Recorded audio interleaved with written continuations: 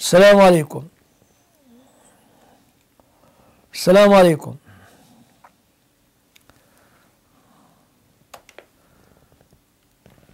السلام عليكم. عليكم السلام ورحمة الله.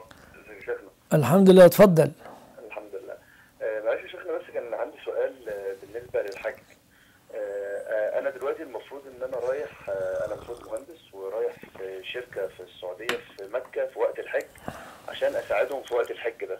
بس ملهاش علاقة بالحج يعني أساعدهم في الوقت بتاع الحج لأن حضرتك عارف إن بيكون في مكة زي حالة خط يعني حالة طارئة كده كل الناس بتكون في استعداد استعدادات قوية شوية للحج يعني. فأنا المفروض رايح أساعدهم في وقت الحج ده. يعني أنت مهندس مساعد في مكة للهيئات في مكة. مظبوط. أيوة. تمام. فهو أنا المفروض المفروض إن الطبيعي إن أنا مش هعرف آه، آه، أقوم بمناسك الحج.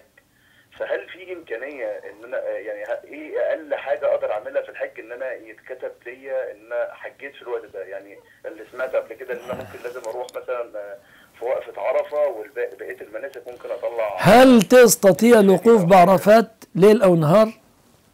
نعم. هل تستطيع أن تقف في عرفات ساعة من ليل أو نهار؟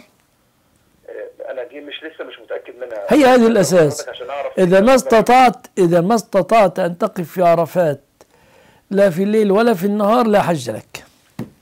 تمام. طب بحيث تدرك الناس- في عرفات ليل أو نهار إيه إيه أقل وقت ممكن نقفه هناك؟ يعني يعني- عدد ساعات معين أو حاجة؟ يعني أنك تدرك المصلين في مزدلفة في الفجر. تدرك صلاة الفجر في مزدلفة. آه، أدرك صلاة الفجر في المزدلفة. وب-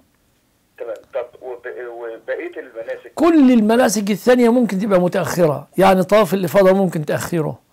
رمي الجمار ممكن توكل عنك في رمي الجمار. السعي ممكن تأخيره. تمام. بس هي لازم أوصل لازم تق... الحج عرفة. خلاص؟